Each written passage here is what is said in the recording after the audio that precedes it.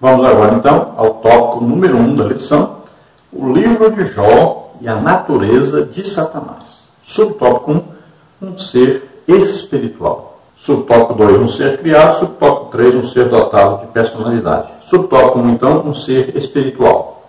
O livro de Jó não procura provar a origem do diabo, mas o revela como um ser real.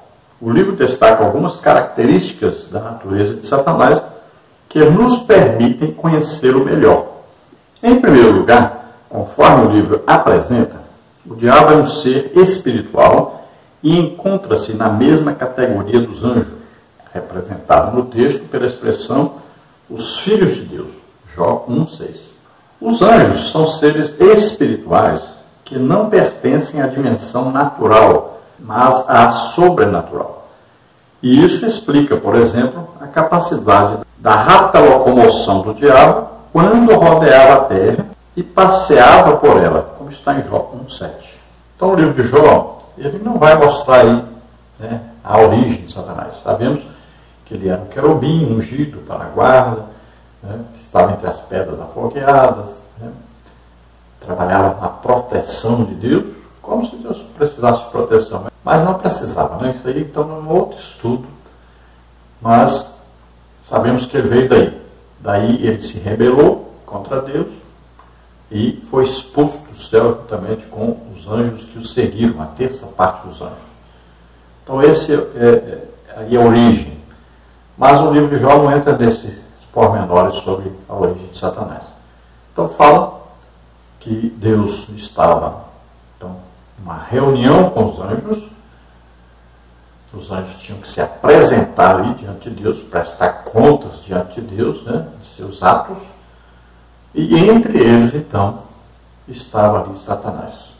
Então, toda a criação angelical de Deus, a sua organização, né, estava ali. Querubins, serafins, arcanjos e anjos. Todos ali. E Satanás, embora agora fosse inimigo de Deus, também se apresentou ali. E veja bem que todos tinham que prestar contas, inclusive Satanás. Então os anjos prestavam contas das coisas boas, né, que faziam a respeito daqueles que vão herdar a salvação, e Satanás, e muito provavelmente seus demônios também estavam presentes ali. Todos tinham que prestar contas das maldades que fizeram. Todos eles tinham limites e todos tinham que prestar contas a Deus. Então aí nós vamos ver algumas características a respeito de Satanás. E o que, que ele pensa a respeito dos homens. Jesus né, diz que Satanás só entende das coisas dos homens, não entende das coisas de Deus. Então nós vamos ver o que ele pensa a respeito dos homens. E o que ele deseja fazer. Se Deus der permissão, o que ele deseja fazer conosco. E é muito importante nós entendermos que o reino de Deus funciona com regras. Então, quando nós quebramos uma regra, quando nós quebramos aí um mandamento, né? quando nós saímos fora da aliança que nós temos com Deus em Jesus Cristo, então nós estamos sujeitos a uma ação do diabo. Então nós temos que tomar cuidado. Se nós estamos em Cristo, então, o maligno não nos toca. É como se fosse embaixada, nós estamos embaixo da embaixada, da mão do Senhor. Mas não saia daí. Veja o que acontece com a pessoa quando ela se desvia do Evangelho. Então, o diabo vem matar, roubar e destruir. Tem que tomar cuidado. Então, esteja sempre em comunhão com Cristo. A Bíblia diz: ó, portanto, nenhuma condenação há para os que estão em Cristo Jesus que não vive mais segundo a carne, agora segundo o Espírito. Então agora estão agradando o Espírito Santo, não mais a carne, com seus desejos, né, suas concupiscências, seus, seus pecados, desejos de pecado. Então, temos que tomar cuidado com isso. Existe aí, então, uma maneira de nunca ser atingido por Satanás e seus demônios. É ficar em comunhão permanente com Deus.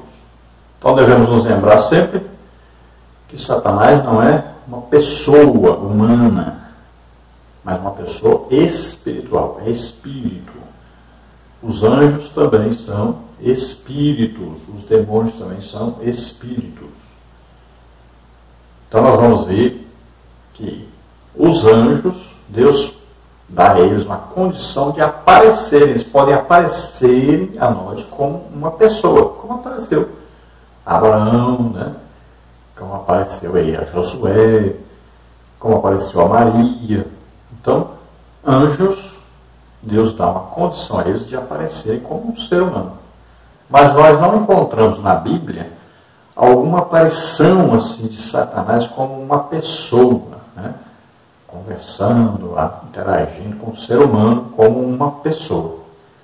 Então cremos que ao ser expulso do céu, da presença de Deus, né, que ele vivia lá, então ele perdeu esta condição. Nós cremos assim. Quando alguém fala que viu um demônio, viu Satanás e tal, é uma imaginação, mas não é uma pessoa que apareceu, é uma imaginação. A pessoa viu em filmes, escutou história de alguém, né? então desenhos animados e tal, tudo isso pode trazer à mente da pessoa uma visão de algo que ele identifica como demônio ou como Satanás. Então, tanto os demônios como Satanás pertencem à parte espiritual e não à parte material. Subtópico 2, um ser criado. Satanás é um ser criado. Mesmo sendo um anjo, dotado de natureza espiritual, ele não é autoexistente. Ao contrário de Deus, que criou todas as coisas, o anjo que se tornou Satanás teve uma origem. Nem sempre o diabo foi diabo. Ele foi um anjo bom como os demais. Assim, ele é uma criatura, não o Criador. Por isso, o livro revela que Satanás tem suas ações limitadas por Deus. Ele pode fazer muitas coisas, mas não tudo. Jó 1, 12, 2, 7. Como ele não é autoexistente e semelhante às outras criaturas que povoam o universo, não é um ser incriado. O diabo é uma criatura limitada. Então veja bem, Satanás é um ser que foi criado, é claro, como querubim, né, classe de anjos, querubim. E ele então se revoltou, se rebelou contra Deus e então ele é Agora, Satanás. Antes era o que? Lúcifer, um anjo de luz. Agora é Satanás, adversário, inimigo agora. Então, Satanás não existe porque ele mesmo se criou. Não é isso. Então, ele foi criado por Deus como Lúcifer e se tornou Satanás, que é o que? Uma referência à sua inimizade contra Deus. Mas é a mesma pessoa espiritual, que antes era Lúcifer agora Satanás. Então ele é uma criatura. Então Deus existe por si só. E Deus criou todas essas coisas. Inclusive, então, todos os anjos né, com as suas organizações. Então sabemos que Satanás tem poder para fazer várias coisas. Agora veja bem, sempre dentro de um limite estabelecido por Deus. Isso tudo tem a legalidade no universo espiritual. Tem a legalidade dentro aí do que a palavra de Deus permite ou não a Satanás. Então ele tem o seu limite. Para que ele possa agir, a pessoa tem que transgredir, tem que desobedecer a Deus. Aí você fala, mas no caso de Jó, mas veja bem, Jesus ainda não tinha vindo e morrido por nós na cruz, levando nossos pecados, doenças, enfermidade e maldições. Então foi lá no tempo do Jó. E houve que uma permissão de Deus. Porque Deus queria fazer o quê? Melhorar a situação, a condição de Jó. Jó não conhecia Deus. Jó era um homem religioso realmente temente a Deus, reto, assim como Cornélio, né? um homem temente a Deus, dava esmola e tudo, religioso, mas ele não conhecia Deus. Então, a partir da provação que lhe foi imposta, com a permissão de Deus, ele passou a ter uma família melhor. Aqueles filhos viviam aí de festa em festa, bebendo vinho. Todos eles tinham a sua própria casa. Sete dias, cada dia, numa casa de um filho havia festa. Viviam de festa em festa. Parece que nunca trabalhavam, só de festa em festa, todo dia. Sete dias, sete filhos. O que, que você acha que a pessoa se torna bebendo vinho de todo dia? festa em festa, todo dia. Alcoólatra. Então aqueles filhos, é muito provável que eram já alcoólatras. Imagine Jó todo dia. Levantava de madrugada, chamava os filhos para o santificar e oferecer sacrifício por eles. Veja se Jó e a sua esposa estavam em uma festa dos seus filhos. Não estava. Quando Jó recebeu a notícia de que seus filhos tinham morrido, veja, recebeu a notícia, não estava lá na festa. Ele não ia a essas festas, nem a sua esposa ia. Então nós temos que perceber as coisas né? e ver que aqueles filhos não eram filhos bons, eram filhos rebeldes, desobedientes, beberrões. Veja que nenhum deles era casado, nenhum tinha filhos. E filhos, sempre na Bíblia, indica bênção de Deus. Os filhos são bênçãos, são presente de Deus. Então Deus já estava de olho naqueles filhos de Jó, pode ter certeza disso. Queria livrar mesmo Jó daqueles filhos. Deus abençoou Jó de uma tal maneira que Jó passa a ver, a conhecer pessoalmente, tem intimidade com Deus. E também Jó teve filhos melhores do que aqueles e sua parte financeira, né, sua riqueza, dobrou. Então Jó foi abençoado através daquela provação. E Deus sabia, tinha certeza, que Jó ia ser fiel.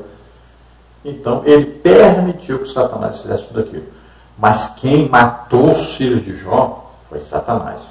Quem tirou a riqueza de Jó foi Satanás. Quem colocou a doença em Jó foi Satanás. Não vá atribuir isso a Deus. Então veja quanta coisa ruim Satanás pode fazer. Subtópico 3, um ser dotado de personalidade. Além do fato de ser um ente espiritual, o diabo é dotado também de personalidade. Ele é uma pessoa e se apresenta como tal. No livro de Jó, vemos assumindo atributos de um ser pessoal. Ele fala e possui capacidade argumentativa. Jó 1, 9 a 11. Essa mesma característica aparece de forma mais explícita na tentação de Cristo. Veja Mateus 4, de 1 a 11, Lucas 4, de 1 a 13. No livro, além de se expressar verbalmente, Satanás também demonstra possuir conhecimento. Ele sabe o que se passa na terra e como se comportam os homens. Ele conhecia a vida de Jó. Isso faz dele um ser perspicaz. O apóstolo Paulo sabia que o diabo é um ser que possui perspicácia quando disse não lhe ignorar os ardis e que ele se valia de métodos sofisticados para atingir as pessoas. 2 Coríntios 2,11 e Efésios 6,11. Assim, Satanás usou do seu conhecimento e perspicácia para atacar Jó. Então veja que Satanás, né, adversário, ou diabo, enganador, acusador dos homens, então ele possui personalidade. Ele é uma pessoa e se apresenta como pessoa. Veja, ele fala e ele argumenta, ele acusa Jó. Veja só, ele argumenta com Deus. Ah, Jó, que adora, é fiel realmente, mas por quê? Porque o Senhor dá tudo para ele. E nós vamos ver que lá na tentação de Jesus, Satanás também está ali argumentando com Jesus. Veja só.